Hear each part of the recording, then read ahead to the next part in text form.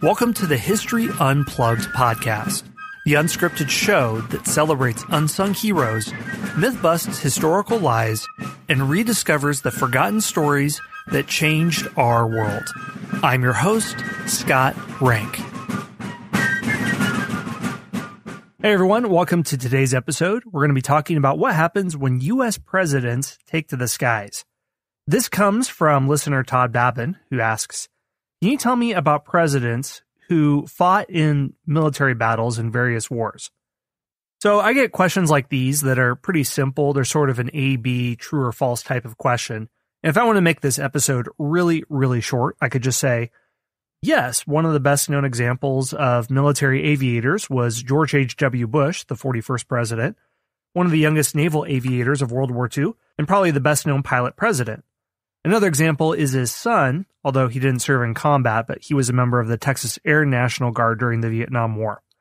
Okay, that is a very short answer to this question, but as you know, in this podcast, what I like to do is take seemingly simple questions, really dig in deep into the question behind the question and explore all the different twists and turns that this can take us as we look into the past and different people. The question behind the question could be different, such as, presidents who fought in wars as aviators, what does it say about them? What was their character? Were they more prone to taking risky measures? Did it affect their leadership style? Would they be more decisive and bold as a national leader if they were a military aviator than people who served in so called safer parts of the armed forces? Although there's not many parts of the armed forces that are that safe or those who didn't serve at all? Was there something different about their leadership? What does this tell us about the president? So that's sort of the angle that I'm going to be looking at it from this question. What I'll be doing in this episode is first of all, I'll give a general overview of presidents and their connection to aviation. Then I'll really dig into what did it look like to fly at different times in history. If you were Franklin Roosevelt and the first president to fly on what became called Air Force One, what was it like to fly on a plane in the early 1940s? Probably a very different and much less safe experience than in the 1990s or the 2000s. So let me dive into a more detailed answer and then we'll really get into the nitty gritty in this episode. Franklin D. Roosevelt is the first sitting president to fly in an aircraft. Uh, Dwight Eisenhower was the first president to travel in an airplane with the designation Air Force One. But the first president who flew, when he wasn't a sitting president, was Theodore Roosevelt, and he flew in October 1910. This is only a few years after the Wright brothers. This is when flight is a very rickety, very dangerous hobby. It's similar to extreme sports today, like base jumping or paragliding. Something that, if you're not under controlled supervision of a professional, you could very likely die. And I think that fits Theodore Roosevelt perfectly. So, almost all presidents since FDR have flown as passengers. But there are a few who went from manning an aircraft to running a country, and the US has had a fair amount of aviators turn leaders, just about more than any other country. I can't exactly say the why of that, but at the end of this episode, I will look at the profiles of famous world leaders who were military aviators and offer a few suggestions, and you can take it from there. The history of presidential aviation, like I said, goes back to 1910, when former Commander in Chief Teddy Roosevelt had was no longer president at the time, enjoyed a brief spin in a Wright biplane. He described the trip as, quote, the bulliest experience I ever had. And if Roosevelt calls it the bulliest experience ever, that really says something, considering he went on African safaris, he worked as a rancher in the D- Dakota Badlands and arrested bandits and spent about 30 hours or so taking them to arrest. He gave a 90 minute speech after being shot. That really says something. So this happened on October 11th, 1910, when Theodore Roosevelt, who just left office, boarded an airplane and became the first US president to experience flight. The event is captured on video. I think you can find it on YouTube. He didn't fly alone. He was with pilot Archibald Hoxsey, a pioneer aviator, who approached Roosevelt with a request as his motorcade stopped to view the events of the air meet. So this was an impromptu decision. After some discussion, the statesman rose from his seat and shed his coat. Here's how news reports from the time described how it went down. Roosevelt removed his slouch hat and borrowed a gray golf cap, which he pulled over his eyes. He watched the aviator's preparations with a smile of satisfaction, betraying not the least nervousness. The report went on to describe the flight, saying, the plane traveled twice around the aviation field in 3 minutes and 20 seconds. Roosevelt waved his hands at the crowd of thousands on the field below. When the machine alighted easily, a few feet from the starting place, a mighty shout of applause went up. The event took place in what was originally known as the Permanent Aviation Field and Dirigible Harbor, but became known as Kinloch Flying Field. So that's Roosevelt's experience in flight, but then we hit pause for a few decades. Remember, flight is still in its infancy, and for a head of state or president to fly at this period would be like for a politician to go on the space shuttle. It's an activity that's restricted to the very few because at this point it is still very experimental and very dangerous. Flight is a part of World War I, famously with the Red Baron and other figures, but aviation isn't integrated into the military strategy of combined arms in the way that it would be in World War II or even in the 1930s with the Spanish Civil War. For a few decades, presidents don't even fly when they're in office. They prefer railroad travel, and the duties of the chief executive don't require the amount of extensive travel than it does today. And there's not the expectation that the president himself personally arrives at different events, personally campaigns in the way he does today. So there's not a pressure for presidents in the 1920s, the Calvin Coolidges, the Warren Hardings, and others to actually get on a plane because it's not well developed at this time. Now, we do start to see men who would later become presidents have experiences with aviation. One of them is Dwight Eisenhower, who was the 34th president and served two terms from 1953 to 1961. He was the first president to fly in a plane called Air Force One, the first president to use a helicopter when in office in 1957, and one of the first presidents to fly as a military aviator. Eisenhower graduated from West Point in 1915. He requested an assignment in the Philippines, but Second Lieutenant Eisenhower was instead assigned to the 19th Infantry at Fort Sam Houston in San Antonio. He worked in logistics until 1918. He was promoted to captain the year before, and when the United States entered World War I, he requested an overseas assignment but was denied. He eventually received orders for the new Tank Corps and was promoted to brevet lieutenant colonel in the National Army. He never saw combat but continued to work in the military despite its difficulties post war. In the 1930s, Eisenhower was posted as chief military aide to General MacArthur, the Army Chief of Staff. In 1935, he accompanied MacArthur to the Philippines. There, he served as an assistant military advisor to the Philippine government in developing their army. Eisenhower was promoted to lieutenant colonel in 1936, and it was during this time when Eisenhower learned to fly. In 37, he made a solo flight over the Philippines, and in 39, he obtained a private pilot's license at Fort Lewis. Because Eisenhower earned a private pilot's license, he was never rated as a military pilot.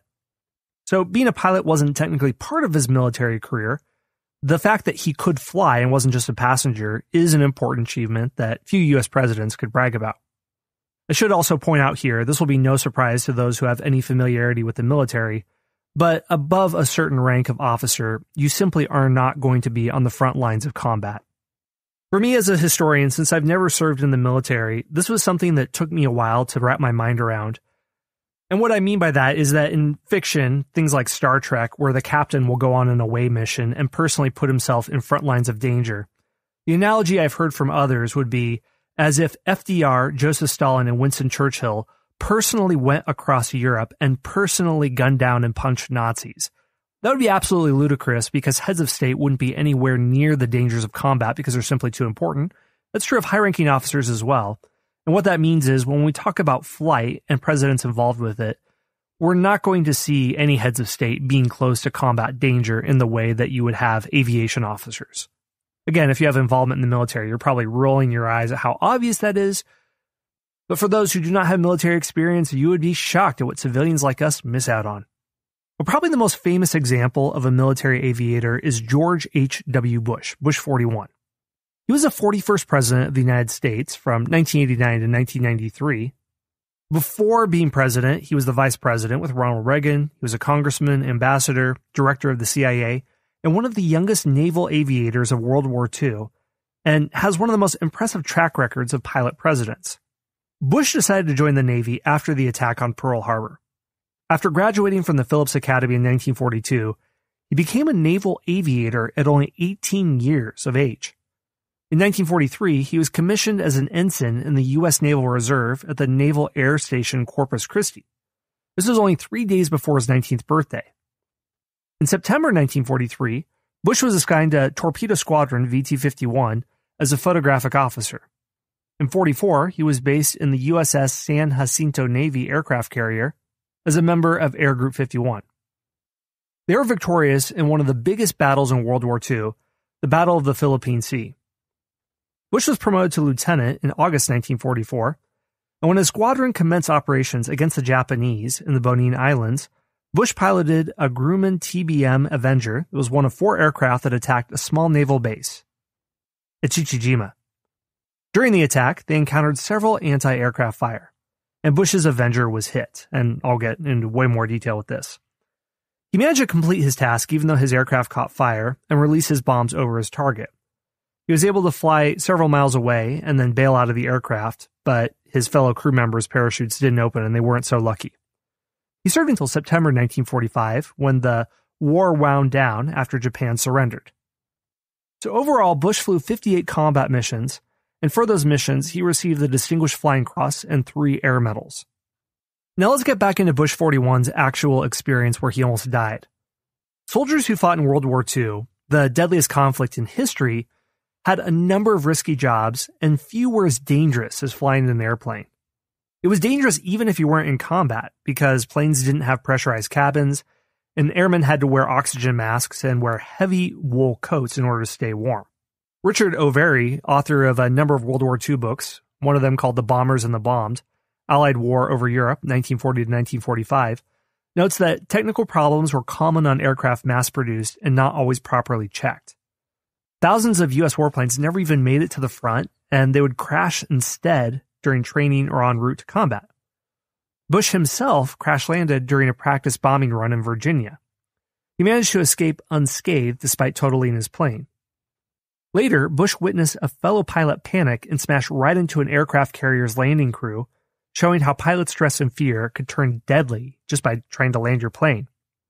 And the fighting after frequent missions took a harsh toll on airmen who confronted anti aircraft fire from below and fire from enemy planes in the sky, with only a tiny hole to protect them. Being shot at in a plane could be so nerve wracking that one British paratrooper spoke of how on D Day he couldn't wait to jump out behind enemy lines, he said, where we knew we would be safer.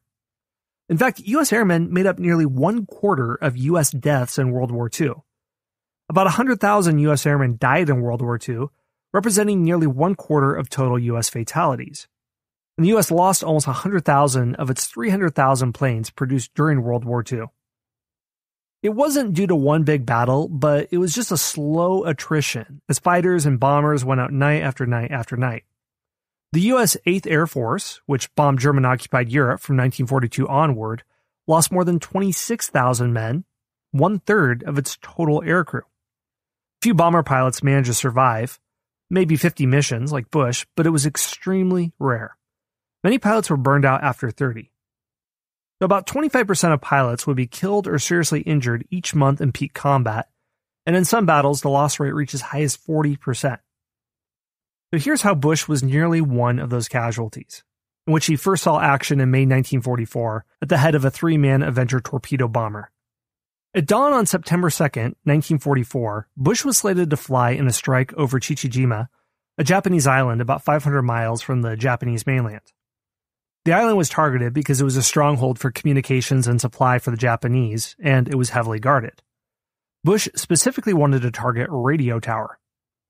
Around 7:15 that morning, Bush took off through clear skies along with William White, known as Ted, and John Dell Delaney. An hour later, their plane was hit. Smoke filled the cockpit and flames swallowed the wings. Bush radioed Delaney and White to put on their parachutes. Bush later wrote, when he was hit, suddenly there was a jolt, as if a massive fist had crunched into the belly of the plane. Smoke poured into the cockpit, and I could see flames rippling across the crease of the wing, edging toward the fuel tanks. Bush managed to drop his four 500 pound bombs on the target and subsequently bailed out over the ocean but when he did so, he bonked his head on the plane's tail and ripped part of his parachute. he managed still to splash into the